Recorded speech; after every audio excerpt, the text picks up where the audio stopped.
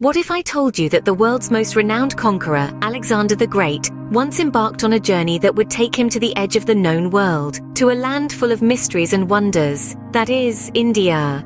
The year was 324 before the Common Era. Alexander, a young Macedonian king, had already conquered Persia, the largest empire of the time, and was now setting his sights further east, towards India.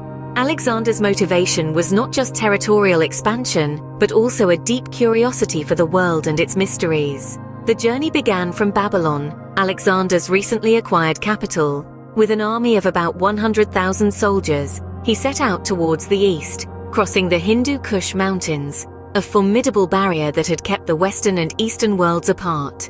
After a grueling trek through the mountains, Alexander and his army reached the Indus River, here they encountered their first Indian king, Omphis of Taxila. Omphis, realizing the futility of resisting the mighty Macedonian force, welcomed Alexander and became his ally. With a local ally on his side, Alexander continued his march further into India. His next major encounter was with King Porus at the Battle of Hydaspes, one of the most significant battles in Alexander's Indian campaign. Despite being heavily outnumbered, Porus put up a fierce resistance. However, Alexander's superior tactics and the might of his forces ultimately led to Porus's defeat. Yet Alexander was so impressed by Porus's bravery and leadership that he reinstated him as the ruler of his kingdom. This was an unusual gesture, showcasing Alexander's respect for valiant enemies.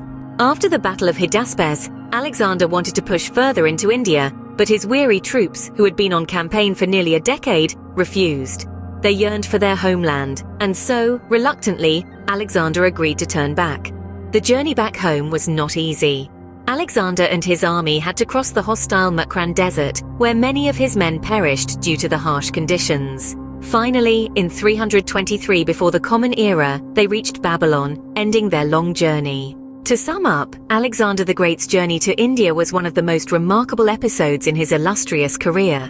It was a journey marked by great battles, alliances, a clash of cultures, and a deep sense of curiosity. It showcased Alexander's military genius, his diplomatic skills, and his ability to adapt to new cultures and situations.